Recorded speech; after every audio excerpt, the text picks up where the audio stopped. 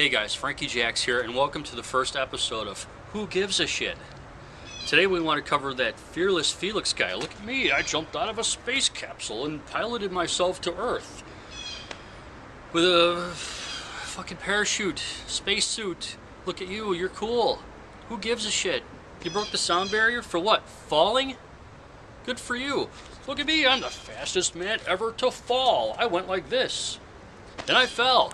I went really fast. That's a world record. Let's make a big fucking deal out of it. Who gives a shit, really? Anybody with the backing of Red Bull and Zenith and all those other people that put their names all over your shit can do this. It, you fell. Is there other people in the world who cannot fall? Really? Did you fall in a special way of some kind? Um, I don't know. Did you train?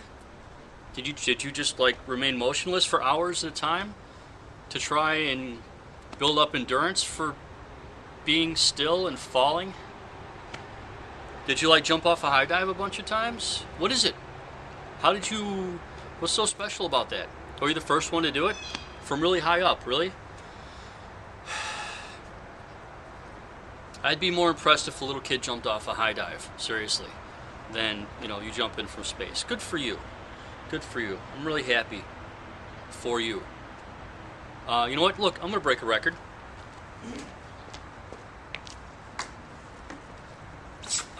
Here we go. Ready? Oh, look at that. I stuck the landing too.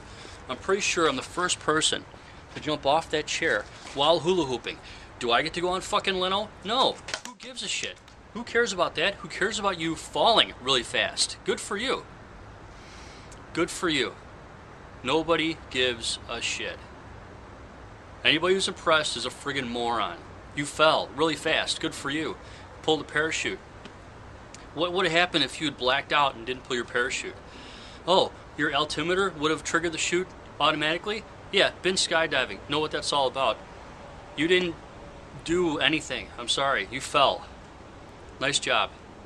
Nice job.